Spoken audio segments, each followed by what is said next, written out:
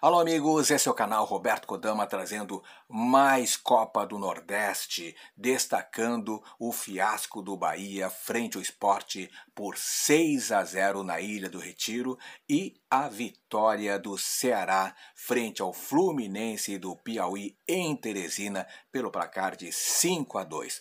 Olha o que fala Paulinho Pires. Alô, galera, aquele abraço. O papo agora é Copa do Nordeste. Alô, Bahia. O que aconteceu com o Bahia? Eu sei que o Rian foi expulso a 14 do primeiro tempo, mas mesmo assim, mesmo jogando fora de casa, o Bahia tomou seis.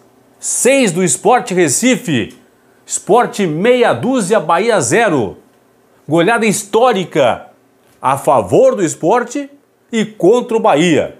Uma das derrotas com certeza mais vejatórias da história do grande, do gigante Bahia.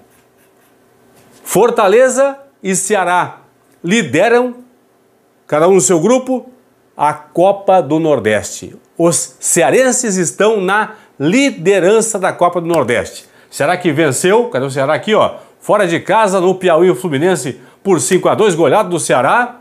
Então as duas grandes goleadas da rodada aí. Esporte meia dúzia, Bahia 0, Ceará 5, Fluminense do Piauí 2. Fala sobre a Copa do Nordeste a partir de agora, aqui no plantão do Paulinho e a liderança, claro, dos cearenses. O Fortaleza jogou lá em janeiro, jogo antecipado, ó, 26 de janeiro, derrotou em casa o Sergipe por 1 a 0, por isso que o Fortaleza não entrou em campo nesta rodada. E o Bahia de novo, hein? daqui a pouco vou ampliar a questão do Bahia. O Bahia já havia tomado 3 em casa do Fortaleza, perdeu para o Fortaleza por 3 a 0 Aí jogou o duelo caseiro contra o Atlético de Alagoinhas, venceu, deu uma respirada na Copa do Nordeste e tomou meia dúzia, seis nesta quarta-feira. A partir de agora, aqui no plantão do Paulinho. Vou mostrar daqui a pouco os resultados de novo aqui. Deixa eu passar para a tabela para a gente dar uma analisada aqui como está a classificação. Deixa eu começar com o Bahia, né, pessoal? Aqui, ó. Bahia é lanterna do grupo B. Em cinco rodadas, somou quatro pontos, uma vitória um empate, três derrotas da equipe do Bahia, saldo negativo 9, apenas 26% de aproveitamento tem o Bahia, um dos grandes do futebol do Brasil e que está em baixa hein, na Copa do Nordeste. Nada explica tomar seis, não pode tomar seis, certo?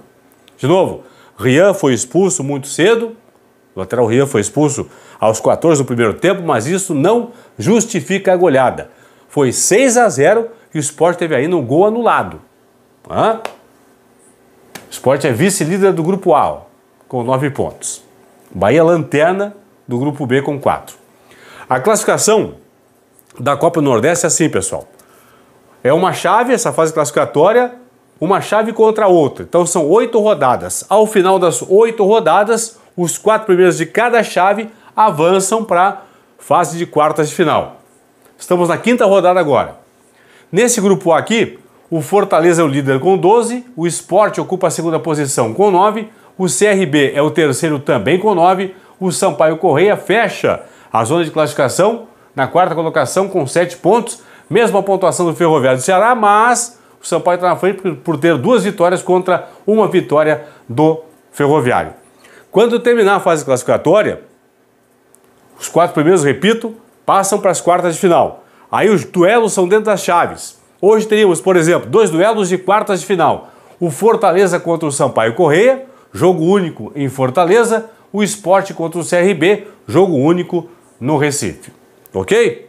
Vou passar para outra chave aqui, que tem o Ceará como líder com 10, o ABC de Natal na segunda posição com 8, o Sergipe em terceiro com 7, o Náutico na quarta posição também com 7. O Náutico joga nessa quinta-feira, na rodada. Se vencer por dois ou mais gols de diferença, o Náutico ultrapassa aqui Sergipe, ABC e Ceará e vai dormir na quinta-feira na primeira posição. De qualquer forma, o Náutico na rodada não sai do G4. Teríamos ao final, se tivesse terminado agora a fase classificatória, nas quartas de final, o Ceará contra o Náutico, jogo único em Fortaleza, o ABC contra o Sergipe, jogo único lá em Natal. Deixa eu voltar para a Bahia Esporte Recife aqui, ó.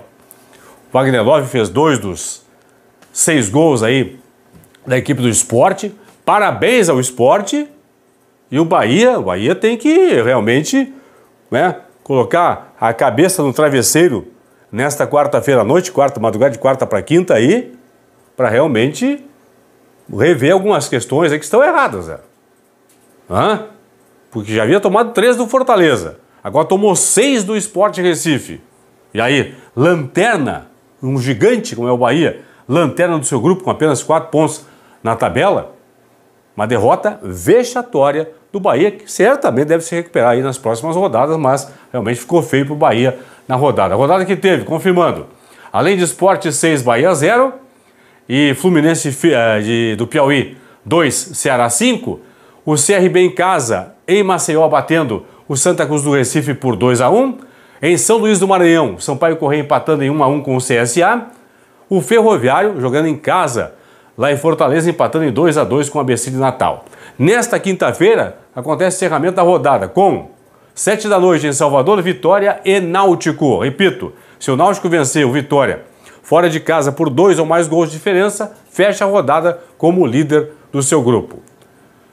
9 e meia da noite, também na quinta-feira, na Bahia, o Atlético de Alagoinhas joga em casa contra o Campinense da Paraíba. São os jogos que fecham esses dois aqui, esta rodada da Copa do Nordeste. O Atlético de Alagoinhas tem zero. Se vencer, vai a 3, não entra no G4. O Vitória tem 2. Se vencer, vai a 5, não entra no G4. Quem mais aqui? O Campinense tem 4 pontos. Já dá uma olhadinha no Campinense aqui, ó. O Campinense tem, tem que vencer de goleada, né? Tem que vencer por um 6 a 0 para tentar entrar aqui na zona de classificação, certo? A tendência é que não aconteça. O que pode mudar com os dois jogos da quinta-feira, ao final da rodada, é o Náutico aqui ultrapassar o Sergipe, ultrapassar o ABC e talvez até ultrapassar o Ceará e se tornar líder do grupo B da Copa do Nordeste. Vamos embora? Vamos fechar a conta por, por enquanto?